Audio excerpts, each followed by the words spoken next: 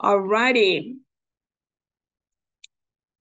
So the objective for today is that we are going to review topics that you're going to need that will equip you to sit the certification and not only sit the certification, but also to be successful in the exam. So the nursing process, if you don't, this is one thing that you must know and you have to know this. So the nursing care plan, this is actually a plan of how you're going to deliver the care for the patient. And the, the acronym for it is actually ADPI. So it's assessment, diagnosing, plan, implementation, and evaluation. So they want to know, okay, how can you identify an assessment? How will you identify a plan? And the plan, I want to tell you, the plan is used interchangeably with the word goal. So you may see goal or you may see plan, implementation and evaluation. So in the assessment, this is where you gather the information on the patient. So say a patient came in and say, you know, my feet hurt, and you look at it, that's assessment. Sometimes assessment and evaluation can be closely together. Here's the reason why. So the patient come in and say, I'm feeling a pain in my foot, and you assess it, right? You give the patients uh, and you you give the patient some pain medication. You rub some Bengay on it, for example, and then you go back and you assess it again. That's actually evaluation because even though you're assessing again, you're checking did the pain medication work? Did the Bengay work? So know the difference between the assessment and evaluation. The evaluation comes after you do an intervention. All right. So in the assessment, you're gathering data, symptoms the patient is experiencing.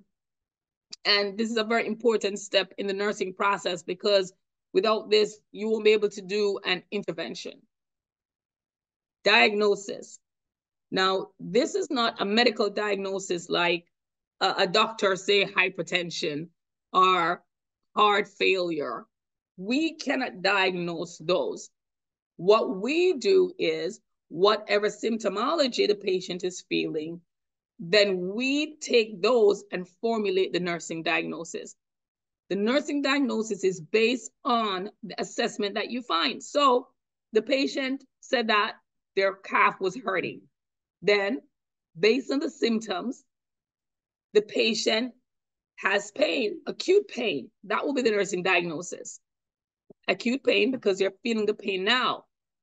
So the clinical judgment that is made about the patient health or the problem that they're facing. That's how you formulate diagnosis.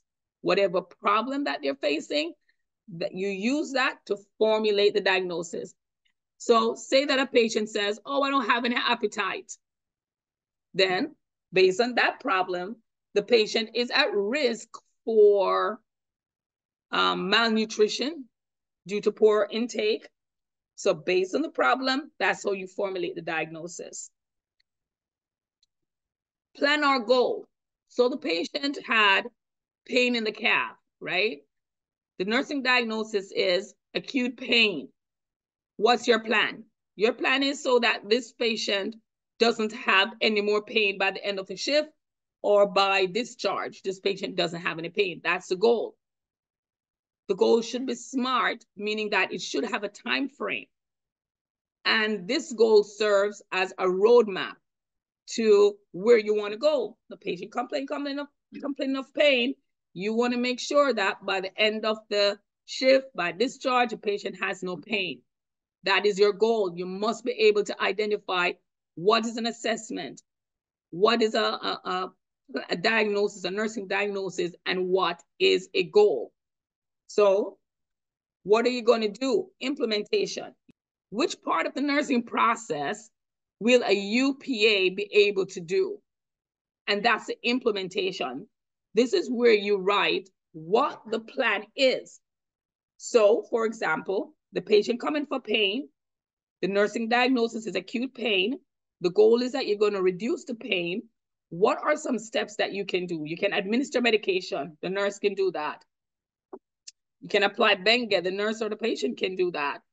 Say, for example, due to the pain, the patient can't walk and you need the CNA to help with ambulation, right? Mm-hmm. So the CNA can do that. So in the implementation section of the nursing process or care plan, this is where other team member comes in, in the implementation section. So this one, where if you have a UPA or if you have a team, which part of the nursing process that they can um, take place or they can participate in, and it's the implementation process. The evaluation is the last step of the nursing process. And this is where you go back and check. What I did, did it work? I give pain medication, I, I rub Bengay on it. Did it work? If it worked, kudos, your plan is good. If it did not work, you have to revise your care plan again to say, okay, then let's do an ultrasound. Do I need to change from Tylenol to something much stronger? Let's do an x-ray. So in the evaluation process, you're going to reassess. In the first part, you assess. In the last part, you reassess. All right? The patient complains of pain and pain medication was administered. The, the nurse went back and checked to see how the patient is going, doing. Which part of the care plan is that part? And that's the evaluation. So you must, you must know that. So let's look at this. A patient, John Doe, 72 year old, 72 year old, have surgery in July. Medical history is hypertension, type 2 diabetes, and patient reports mild discomfort in the operated eye, mild blurry vision, slight headache, vital signs uh, BP is 135 over 80, heart rate is 72, temperature is 98.4, operated eyes covered with protective shield, no signs of infection or excessive discharge, mild edema around the operative eye. So the question to you is, list three nursing diagnoses for this patient. What would be three nursing diagnoses for this patient? Well, the patient is at risk for infection. So we're going to have risk for infection. Let me get another color. Risk, I'm going to put um, RI, risk for infection. Uh, but if you even look here, look at the subjective data. Patient report mild pain. So what if nursing diagnosis would be? I would say pain. What's, a, what's another? And we have mild edema around the eye. So which is a swelling that you say, but what can occur because you have edema around the eye? Risk for fall due to poor vision or impaired vision. Okay. So there are risk for fall. I'm going to put F if you notice, I have risk and I have actual. Here's the thing. There's like three types of nursing diagnosis. There's actual nursing diagnosis where the problem is happening right now. And there are potential nursing diagnosis where the person is at risk. So because of the, per this, the surgery, this person is at risk for infection. This person is at risk for fall. They haven't fallen yet but this person have pain. So it's an actual diagnosis right now. So that's the difference between both. All right. Any question on that? Silent for consent. So, all right. Acute pain, risk for infection, deficient knowledge related to post-operative care. So these are three that I pre-placed inside here. I wanted to list me three goals or three, three plans that could go with these nursing diagnoses? What would be your goal for someone with acute pain? Right? Or no pain between um no pain by discharge or with decreased level of pain to four or five, that's correct. So that would be the goal for acute pain. What would be your goal for risk for infection? Or in the even when they go home, patient mm -hmm. will have no signs uh, and symptoms of infection. What about the deficit knowledge related to post-operative um, care. So those are goals. So make sure that you're able to identify what the goal is. Um, it's just like,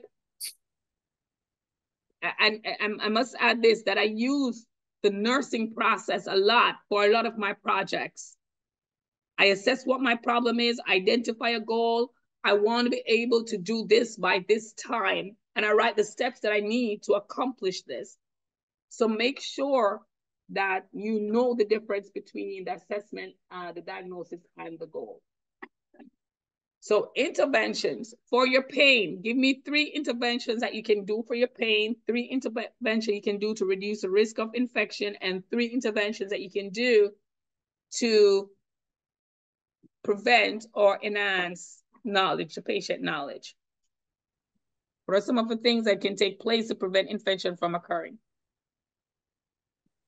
Maintain area um, clean and, and dry. Yes. Yes.